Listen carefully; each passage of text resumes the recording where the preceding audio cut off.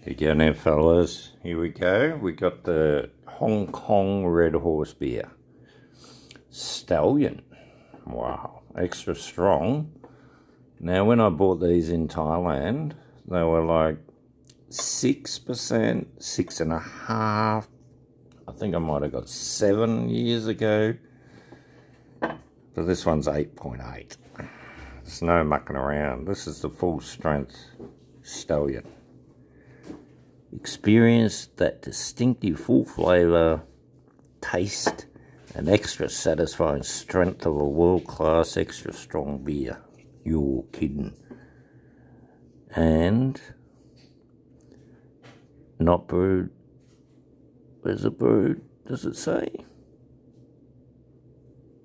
Property of San Miguel Brewery, the bottle. How's that? Never seen that before. I reckon it's brewed here. Under license, just quietly. It wouldn't be from Thailand because they bloody fill it up with water. I don't want all their taxi drivers driving around pissed like in Manila. All the taxi drivers drink this shit in Manila. I reckon it'd be quite messy. Look at the head on that, that's lovely. I pulled it pretty roughly and it's just sat lovely. I've been looking forward to this. Cheers, guys.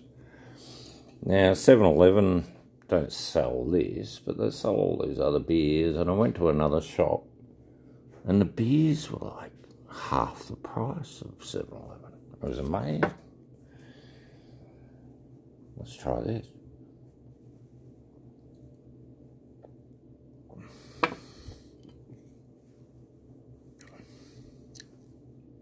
It's really cold.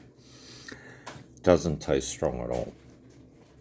Tastes quite lovely actually.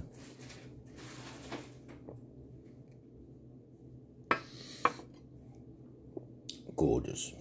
I've never seen Stallion written on that before. So it's all different, isn't it? It's all different. Still can't work out who's made it, where they've made it. In Australia, they've got to tell you what country. Don't know. Alright, guys, just got back to the room. We had Japanese food. It was fantastic. Uh, we had a couple of drinks up in the bar, uh, rooftop bar. That was pretty good.